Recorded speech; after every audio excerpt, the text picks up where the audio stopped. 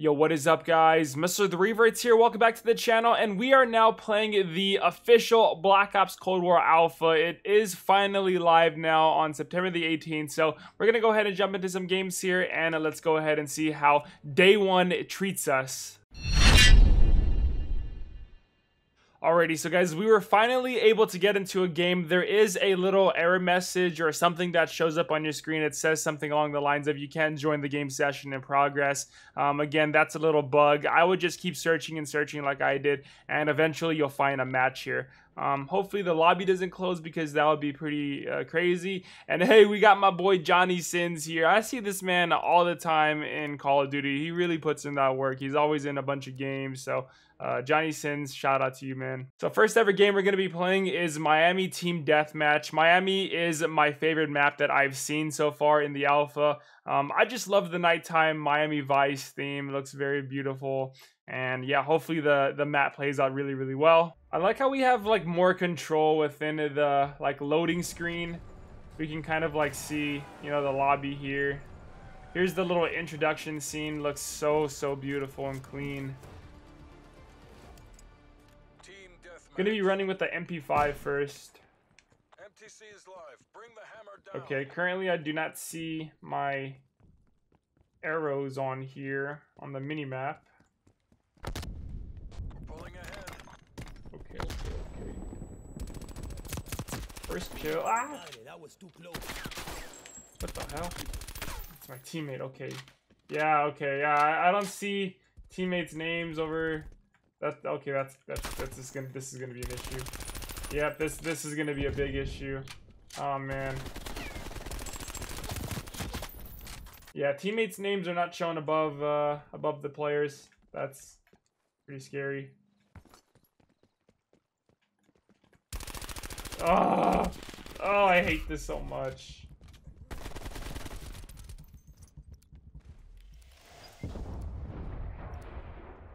Oh, wait. What the heck? The game wasn't even started yet. I, I am big confusion. Okay, so that really threw me off. Oh my god, okay. Man, I'm over here thinking like, dang, I'm doing good. I do have two eliminations from that though. Which, I, I'm legit like confused, but I'll, I'll take it. Whatever. Sliding already feels like so much more faster compared to Modern Warfare. Hands down. Oh my gosh. Let's go. Uh, we need to find ourselves a gun. There we go. Okay, okay.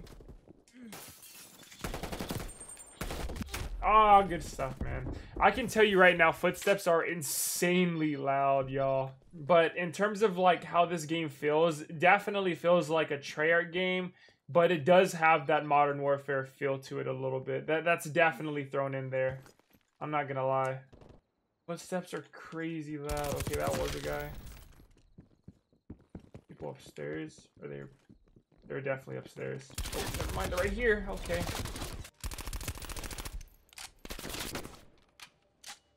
Dang. Dude, that that's a great spot for snipers. If I had a sniper, dude. Whew. Speaking of snipers. Ah, he got me. Man, this this map is just beautiful. I, I love the theme of it so much. Damn. I never knew how open this map really is.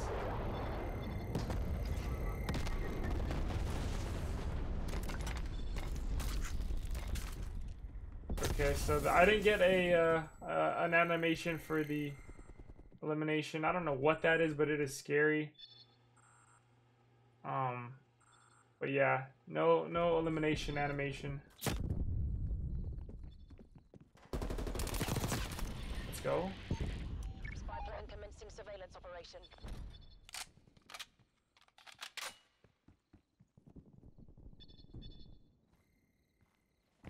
Yo, man, this team's going to work. I hear footsteps, man. Enemy RCXD detected.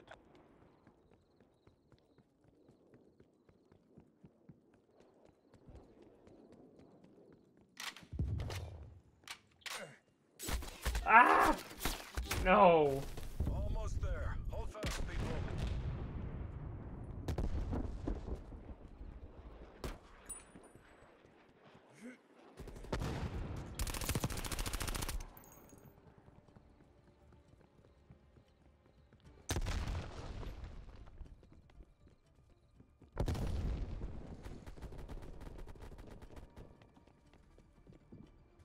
Yeah, this game definitely does feel like a Treyarch Call of Duty for sure, which is really, really nice. Oh, okay, game. Oh. Alrighty, so guys, we're going to be hopping into a Satellite TDM game. Now, Satellite was also shown in the uh, reveal, and to be honest, this really isn't my favorite map that was shown to us because of how wide open it is. Um, but we got to play it out first, see how it plays out, you know? We're going to be using the AR this time.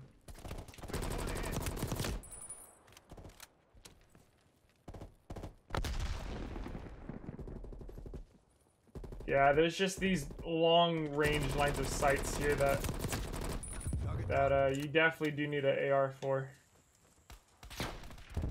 Or a sniper. A sniper would be deadly on this map too.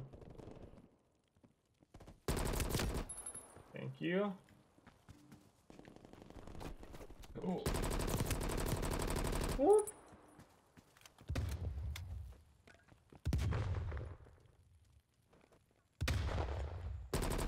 Oh, good stuff. Ah! He's down.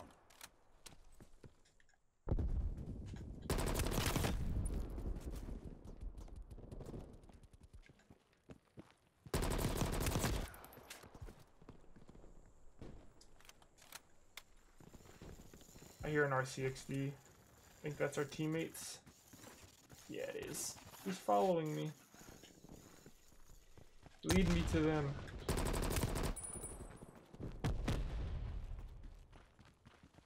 I see you. Adler requesting spy plane on grid. Okay. He's gone.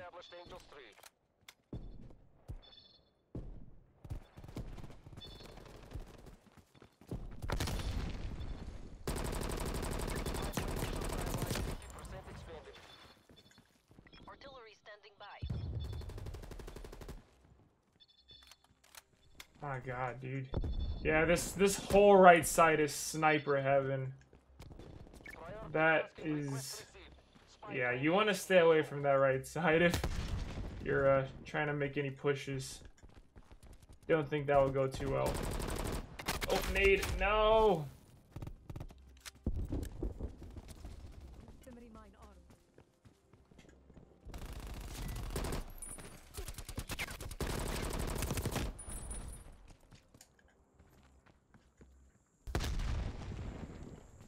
Trying to find a good place to call in this artillery barrage, but dang. Oh wait, I don't know why for some reason I thought this was like the clusters, but fuck it. Okay, we got two with it. Field mic is live. Damn, okay, well he, he gets a quad with his. What? Tagged him. Oh man. Teammate! Help. Keep applying pressure. We're ahead. Moved enemy field mic. Yeah, snipers are gonna love this part of the map.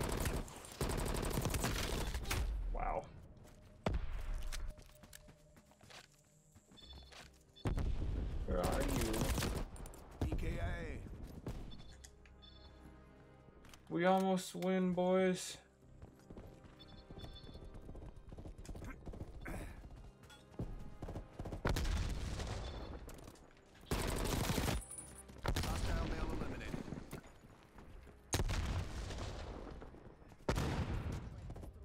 Yeah, we won. So, guys, those were my very first two games I've ever played of the Black Ops Cold War Alpha live. And now I'm going to give you my thoughts about the Alpha and just my initial impressions. But before I get into that, in the gameplay you're watching, I do go 37 and 9 on the map Moscow, which is the third and final map in the 6v6 rotation.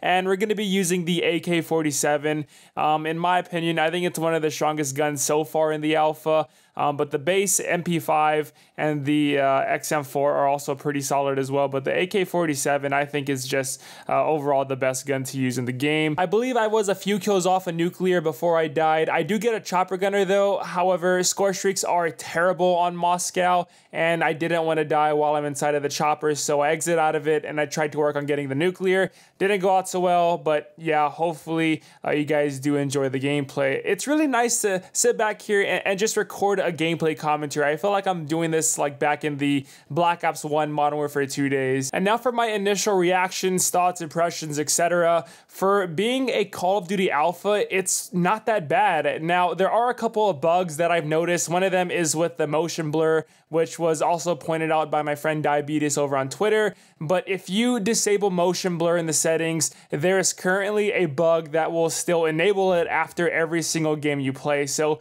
maybe from now on, get into the habit of checking that out after every game you play. Um, but to me, the game literally feels like a Treyarch game. It feels like a Treyarch Call of Duty, which is nice to, you know, see because I was very worried that the game would feel and play too much like Modern Warfare. But it does not exclude the fact that the game does have a hint of Modern Warfare in it. You can definitely tell that it's using some parts of the Modern Warfare engine, but the game itself definitely feels like a Treyarch style Call of Duty game, which I am so, so happy to, you know, see because I was worried again that it would feel too much like Modern Warfare. It would feel too much like an Infinity Ward game. Um, but yeah, don't really have to worry about that too, too much. Now, in terms of the time to kill, it feels similar to Black Ops 4, maybe just slightly faster, which I don't really mind too much because I personally enjoyed the Black Ops 4 multiplayer. But like with Black Ops 4, snipers are insanely scary strong in this alpha build, like absolutely strong. If a sniper misses their first shot on you, you'd better pray you hit all of your bullets on that sniper or you better run away from that engagement because again, snipers are insanely OP in my opinion. I think they should get a little bit of a nerf in terms of like the aim assist that they may have the damage too, maybe just slightly. Um, but yeah, snipers very very good. Footstep audio too is crazy loud. Like I can literally hear where somebody is going to be coming from, and I'm talking like their exact location, not just the general vicinity around me. If somebody's you know walking around me, I know exactly where they're going to be coming from. So the audio is crazy good as well. Uh, sliding to me feels faster than a Modern Warfare. I don't know if that was supposed to be intended or what, but sliding definitely does feel faster. The score streak system gave a lot of people some worries at the very start when it was announced, and I'll be honest with you guys, it's not that bad. It really isn't. I think this new system is a nice little change up after working with the same thing for years now.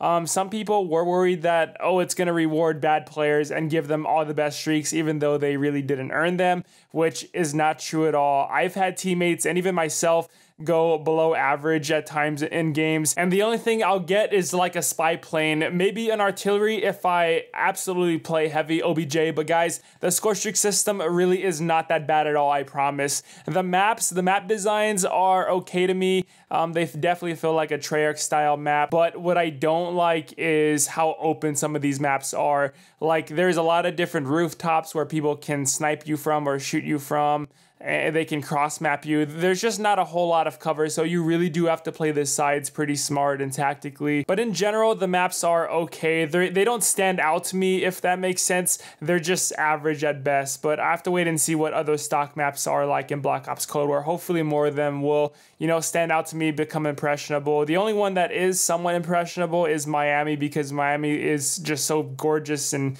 I love the Miami Vice nighttime theme map. I really, really do. Now, I do have one big, big gripe, and it's with the wild card Lawbreaker. I think Lawbreaker is the best wild card to use in the game, and I don't see any reason to run any of the other wild cards because Lawbreaker allows you to use any of the weapons and any perks in any slot you like. So what I do is I run Ghost and Ninja, um, but you can use Cold Blooded as well, but I choose to use Tracker instead, which, by the way, I think Tracker footsteps need to be adjusted because the footsteps look way too dark, especially on maps like Moscow and Satellite. But yeah, Lawbreaker is a crazy good wild card to use because it lets you become pretty much invisible to the spy plane spam and the other streaks if you pair it up with Ghost and Cold Blooded. Ninja is also good too because it will make your sprints more quiet. And yeah, I could see this being a big issue when the game does come out. But yeah, Lawbreaker should get looked at by the developers. It will for sure get banned in competitive. I could see that happening.